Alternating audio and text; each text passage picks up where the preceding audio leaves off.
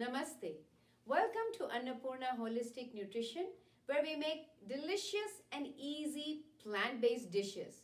Today we're going to make a twist on cornbread. Come join me. Let's make it fun. Let's begin.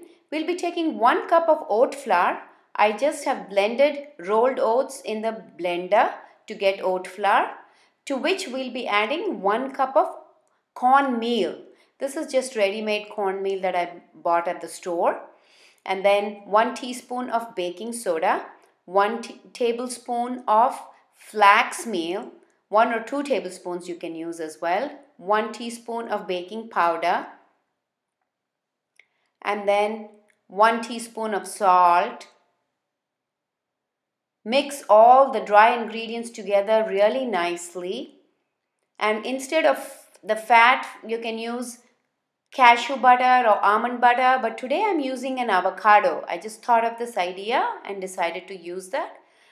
Use one whole lime instead of vinegar or you can use apple cider vinegar. I had some greens in my house left over. I added that and then a couple of cups of corn, one whole cup of spinach and a quarter cup of cilantro and then red bell pepper, jalapeno or serrano peppers, whatever you like, whatever vegetables you like, add it.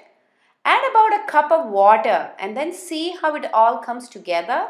Don't add all of the water at once.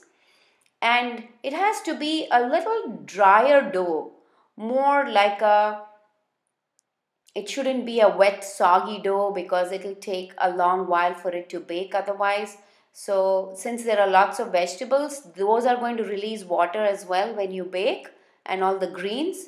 So it should be almost a drier consistency. Fill it in muffin trays or on an 8 by 8 square pan as mentioned in the recipe. And these are corn muffins but flavored with lots of vegetables. It makes about 20 to 30 small mini sized corn muffins. They're perfect for a snack. Here I have all of it ready. Taking it to the oven at 375 for about 20 to 25 minutes. And it's good to go. Cool it down, remove it from the molds and enjoy. You can vary the vegetables or skip all the vegetables and just use the corn. Let's do a taste test. Looks like it's yummy, yummy, yummy. Enjoy.